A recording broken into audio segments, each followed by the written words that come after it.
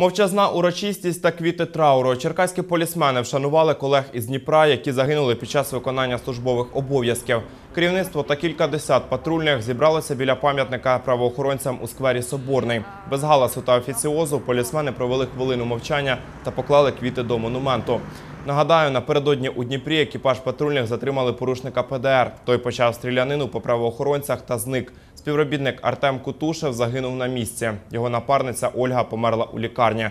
Додам, це перша втрата патрульної поліції в Україні. Зараз ініційовано збір коштів серед патрульних для того, щоб допомогти родинам загиблих, бо у патрульного Артема залишилась трирічна донька, яка вчора від- відзначала, якщо це можна назвати, свій день народження. У патрульної Олі залишилося два хлопчика, які є неповнолітні школярі.